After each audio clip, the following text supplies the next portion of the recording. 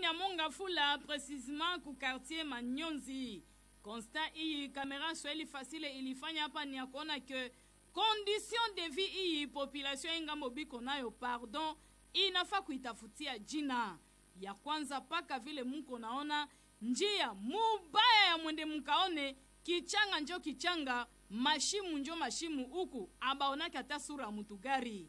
maji ya kunywa nayo njo mwaya kusema aiko uku lose la vie aiko juu yabo bao biko njo na mateso ya maya mwede mkaone banendaka kushota ayo mbali basi batoto vile muko naona kidogo aba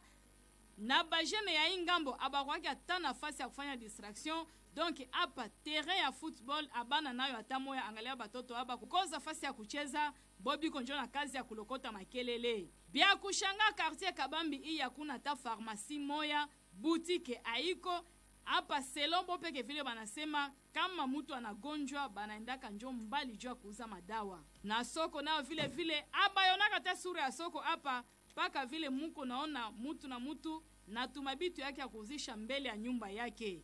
basi ya kuankuraje ile leo swahili fasile inapikia snele mikono juu ya kuona ke kartier manyonzi apa biko na courant ya muzuri sana ona vile mampule iko na waka pelele busiku na muchana apa abakose courant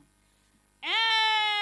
Eh, tutaomba tu na gouvernement provincial epi ya baautorité compétente bakumbuke pia population ya quartier manyonzi hapa kukomini ya mongafula na bao vile vile biko na droit ya kuishi mzuri surtout ke tulisha kwa mu 21e siècle tena biko kati ya kapitale ya jamhuri ya kidemokrasia ya congo mai banakosa hopitale aiko terrain aiko soko akuna njia mubaya mujulize tu biko naishi je antuka bale iko ngambo yenu na sie tutefatilia